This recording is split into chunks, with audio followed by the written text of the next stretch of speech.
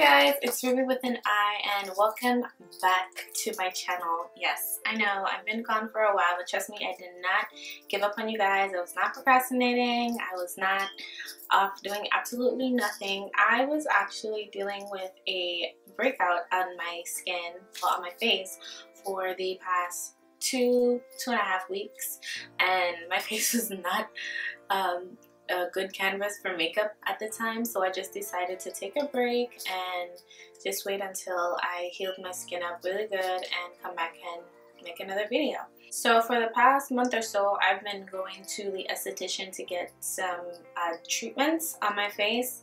It was a lactic acid peel and it's not necessarily a peel where your skin is going to peel off. It's actually a deep exfoliant and it goes to the dermis, which is the second layer of the skin and it helps prevent breakouts and it improves the texture and it's supposed to improve the brightness of your skin. So I had to do six sessions and by the third session I kind of noticed like a little spot on this side of my face. And I'm like well maybe that's just the lactic peel doing what it's doing. And you know I would have like you know bumps come up but it would be like like acne or pimples and stuff like that. So I'm like okay it's doing what it's supposed to do.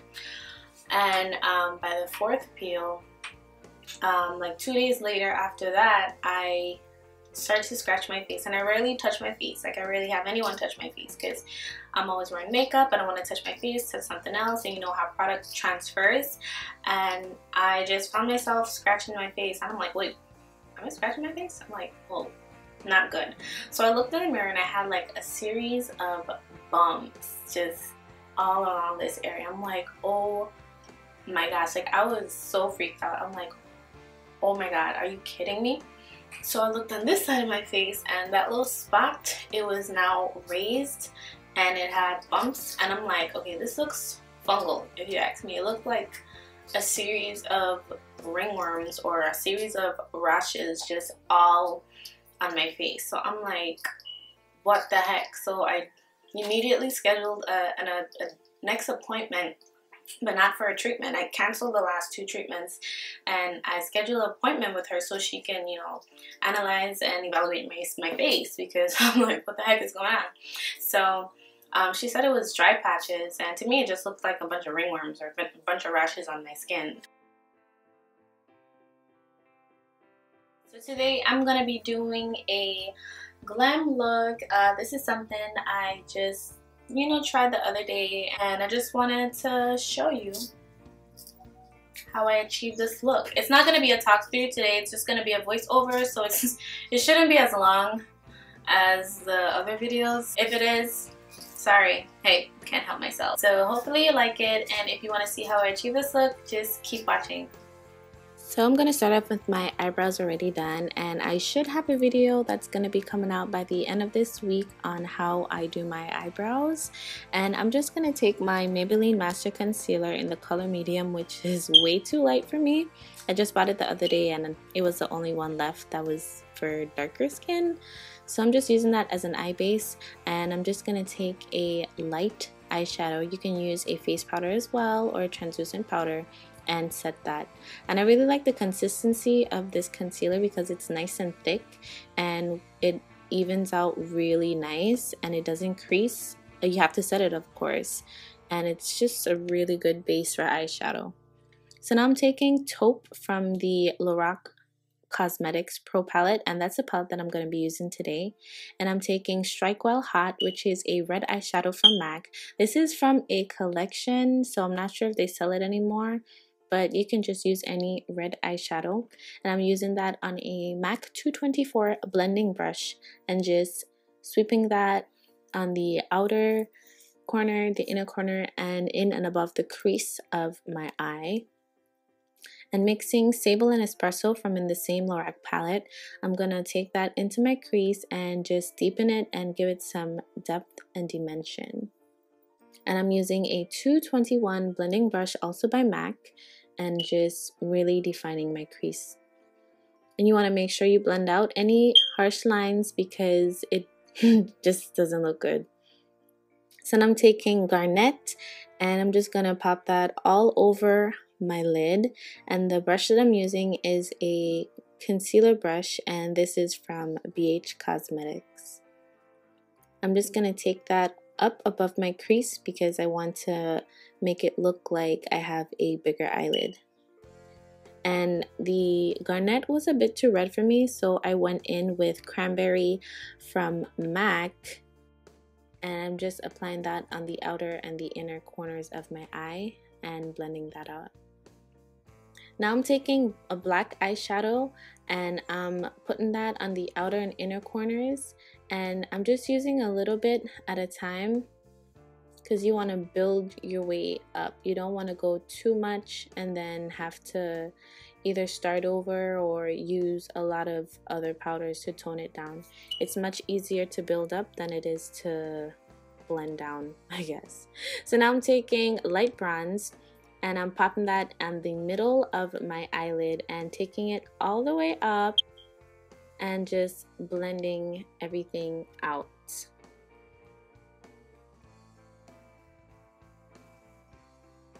Now it's onto the face. Under my eye and on my cheek, I'm pretty sure you saw already that I still have, you know, like a little breakout, but it's fine. So I took away some of that fallout and now I'm just gonna hydrate my skin using a moisturizer. And now I'm taking the Benefit POREfessionals Primer and I'm just popping that on my visible pores. And now I'm going to color correct my skin because I did have a lot of dark spots after everything. So I just want to cover those and I'm letting it dry. so I'm just, you know. And I just got Sia's new album, so I was kind of rocking out to that. it's really good. And guess what? I got a new BB cream. So no scraping and wishing for the best. I can use as much as I want. And I'm taking that on a beauty blender and just applying that all over my face and to be completely honest I think I got a little carried away with the color correcting because it was just kind of spreading and orange was kind of getting everywhere and I got sick of the beauty blender so I just switched to my Real Techniques brush and it really helped it cover a lot more but it just you can see it. It, it looks orange. I, I got I got too carried away. And not only that I kind of had to use a little more foundation that I'm accustomed to just to kind of cover it so I really knew I got carried away. And I'm using for the first time the L'Oreal Infallible Pro Matte uh, foundation and this is a color classic tan which is too light for me so I had to mix it with my Cover FX G90 foundation and just really making sure everything is blended out. And I'm taking my Maybelline Fit Me Concealer as well as the Maybelline Master Concealer. I'm just taking those two and blending them together. And I just love how the two consistencies mix together. Just makes my under eyes look so nice and smooth. And now I'm taking the, um, what's this called again? Uh, the black opal foundation stick and I'm not entirely sure what the color is I'll just list it below and I'm taking my beauty blender to blend that out and it's funny because I don't really use a beauty blender to blend out my contour but for some reason I did that today now I'm taking the uh, what's this the MAC mineralized skin finish in dark and I'm also using my yeah that happened. My Laura Mercier powder and just placing it on top of the mineralized powder. And I really like how this made my under eye look. And then of course, I'm gonna highlight my forehead and down the bridge of my nose using those same two concealers. And I'm just gonna blend that out evenly on my forehead.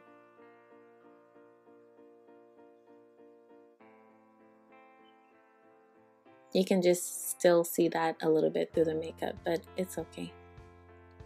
And I'm just gonna set my forehead and down my nose. I don't really bake, I just put the powder on and after I wipe away my under eye powder, I just wipe it away right after. So now I'm using the CoverGirl Queen Collection bronzer on my contour my forehead, my nose, and then I'm going to use Hollow by NYX, which is in a NYX contour palette, and contour the rest of my face. And then just using the Mineralize by MAC I just set under my contour. Taking the Anastasia Glow Kit in Gleam, I think, I'm using Mimosa and I'm just gonna use a dual fiber brush and just apply that to my cheeks. I really like how the dual fiber makes the highlight look when I used it. And then of course my cupid's bow down my nose, the tip of my nose. And I'm using a, not the Lovejoy by MAC, but uh, gosh, I forgot the name of this. So I just used that. That was by the Aquatic Collection. And now I'm gonna do my under eye using the same eyeshadows that I use, the Sable, the Espresso, and the Black Shadow. And then of course, uncurl my lashes because they're extremely curly. So now I'm taking the Tarte Amazonian Clay uh, liner and I'm using a 266 brush I think by MAC and I'm just winging it out and the lashes that I'm using are from Huda Beauty but I kind of mixed them up so I kind of have to figure out which ones I use. So in the inner corner of my lower lash line I'm using gold and then to brighten up the inner corner as well, I'm using champagne.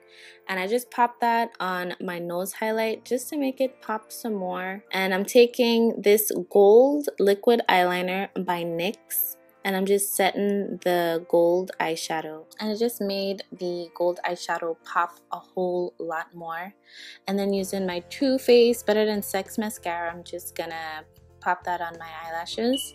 And now I'm using Chestnut Lip Liner by MAC, which is one of my favorite lip liners. And you can just see how the highlight is just popping on my lips and my nose. It's really pretty. Just really blend, blend, blend that out. And then this is my favorite natural lip combo. I'm using Mystical lipstick which is by MAC. Uh, I think it's a it's a collection piece so I'm not sure if they sell it anymore. But you can find something similar. And I'm using Peach Stock which is a nude gloss. And I'm just using that on top. So it can give it like this you know this nice pinky nude lip and that is basically it. If you like how this look turned out, give it a thumbs up. If you have any suggestions for any future videos, you can leave a comment below and I will definitely consider. And thank you once again for watching. Don't forget to subscribe and share. Thanks guys.